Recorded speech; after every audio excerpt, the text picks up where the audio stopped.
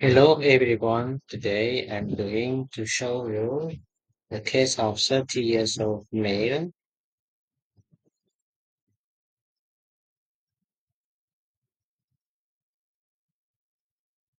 advised x-rays of the knee following a fall.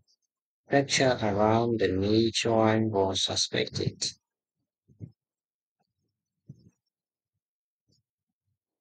So here is his skyline view x-ray of the knee.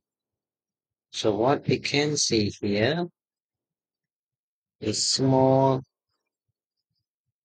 fragment-like bone lesion on the lateral aspect of the patella with smooth outlines. So it is likely a patella ossification center. So what is the finding for?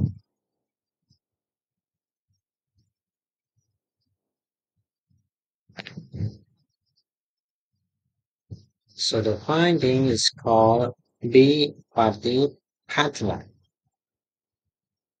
Case of bipartite patella, incidental finding while looking for a fracture and can be easily misdiagnosed as a fracture, identified by a clear demarcation between the two parts, bipartite, with well corticated margin. Thank you.